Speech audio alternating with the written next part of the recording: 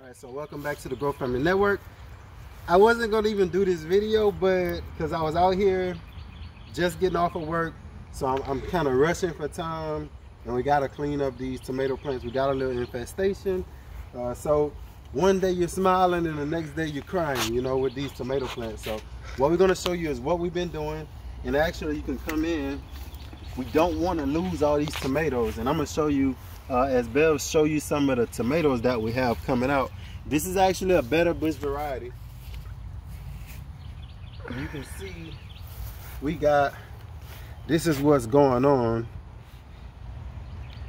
So we want to catch this. I mean, they're going to get you a little bit, but but don't, uh, when you see this happening, don't give up the fight. Like it's time to fight back right now. So we got our little uh, cutters, we usually come out with some pliers and actually just pick them off because I found that some of the best, uh, some of the, look at this one. That's good. Look at this one right here. See that? Yep. The best way to get these off is pliers. Now, for, if y'all if y'all people work for PETA, don't say nothing because what, what I'm about to do. Usually, if I got these in my hand, I just either cut them off like that or I try to grab them off and then smash them anyway. Uh,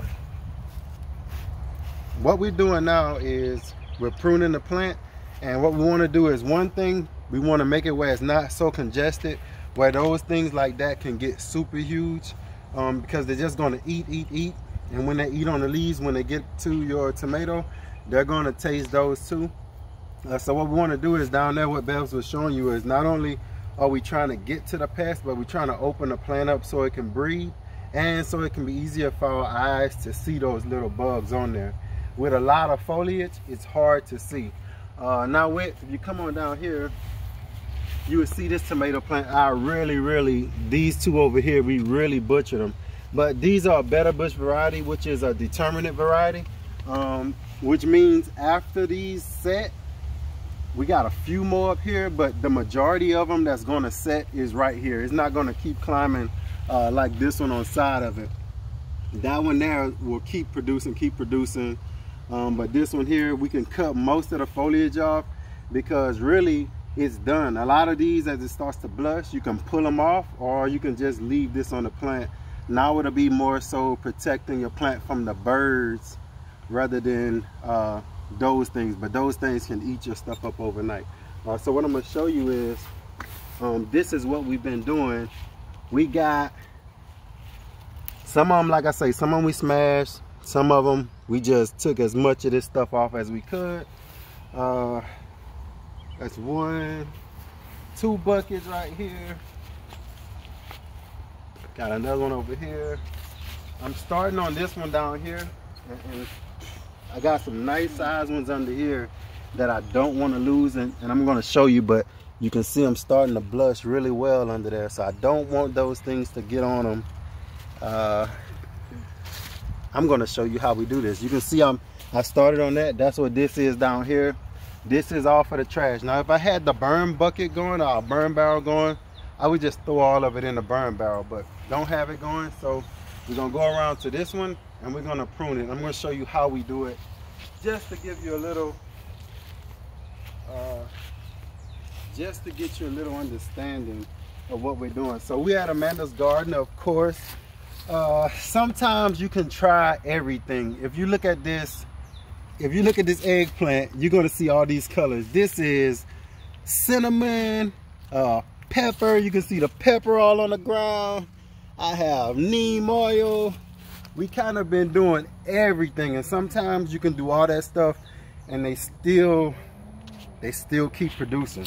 You can kind of slow them down or slow the cycle down, slow the process down. Uh, but sometimes what I found the best pest control is actually your hands. You really gotta, you can't just go the cheap route and, and just spray everything away. Sometimes you really gotta get in here. Uh, so what I do is generally I like to keep everything off the ground. That's the first thing you want to do to start. So we start out down here and I'm sweating because I'm rushing and it's hot. I think it got up to like 95 degrees today. So starting to take that out. Anything that's like really really touching some of these small ones like this and I see a little damage on them, sometimes I'll just go ahead on and lose it. Go ahead and take it off because you don't know what's in it. Might come out overnight. Sometimes you can see. Uh, but look right here. What you want to look for is when you start seeing the little manure, the little worm manure, because they are there. And you can see that one is right here hiding under this leaf. So you can actually grab him off uh, don't try to get away from me. So grab him off. Why is my oh I was about to say why I'm not closing. Ah, gotcha. uh, but in my case, I'm gonna take that whole leaf off because it's all over my little tomato cage. I want to take that whole thing off. I want to open this up. If you can see up in here, I can't see through that. Uh, so I, I can't tell what's in there. Knowing that this is a determinate variety, not worrying about cutting off the suckers I'll just get in there and start getting a few of them all I want to do is open this thing up where I can kind of see what's going on in there.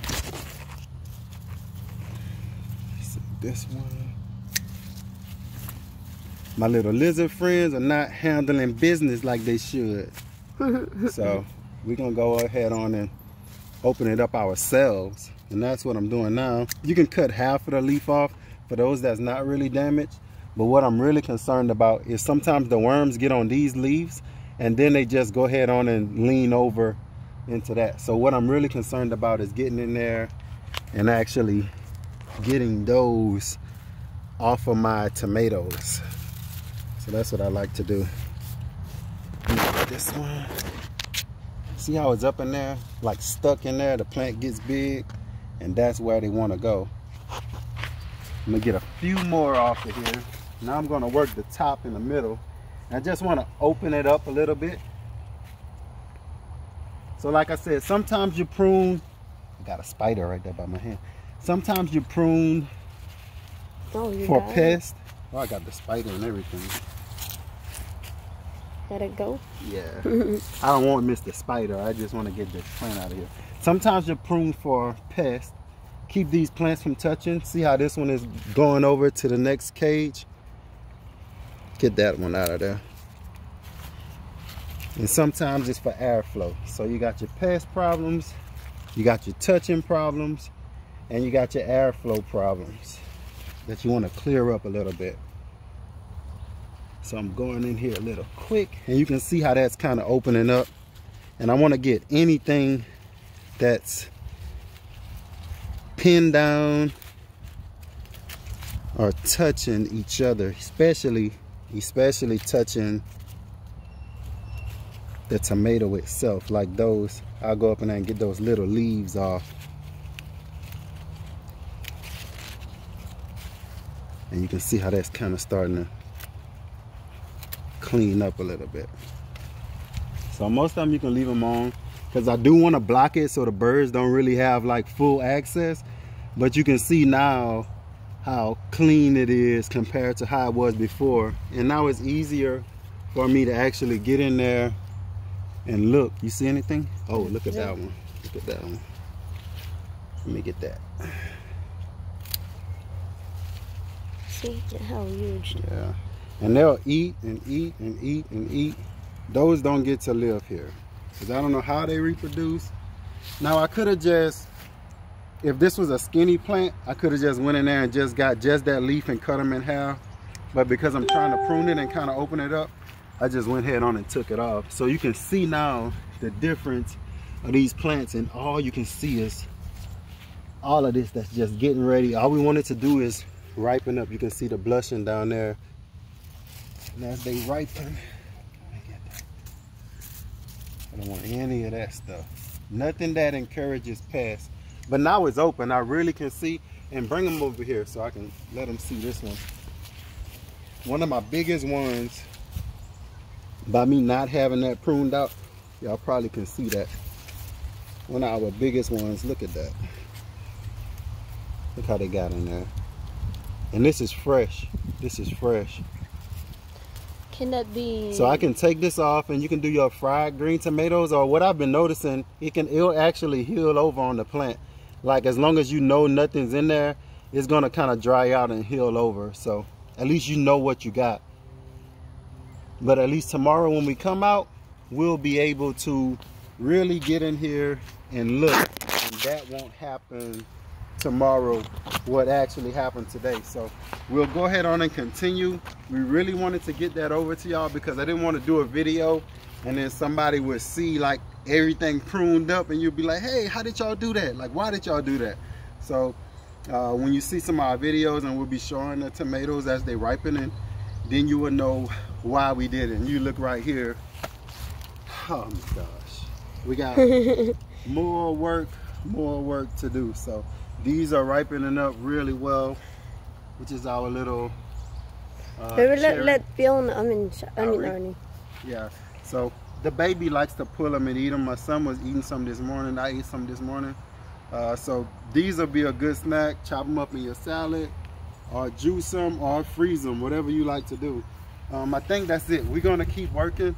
Uh, I want to say thank you all for watching. Thanks for subscribing try to hit that like button every now and then because that's what gets us to the next person. That's what makes YouTube share us to the next family. Uh, so thank you for watching the Grow Family Network. And as always, grow, grow, grow. I had to make sure I had three tomatoes. Peace.